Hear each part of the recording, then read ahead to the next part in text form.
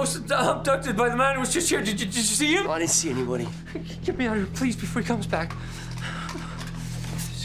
No. I thought I was gonna die.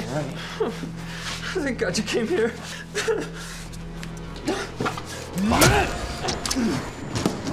Don't move.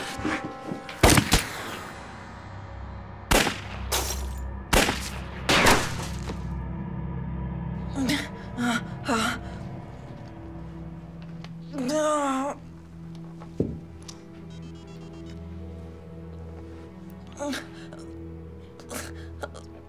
This is Detective Debra Morgan. I've been shot. Please send help.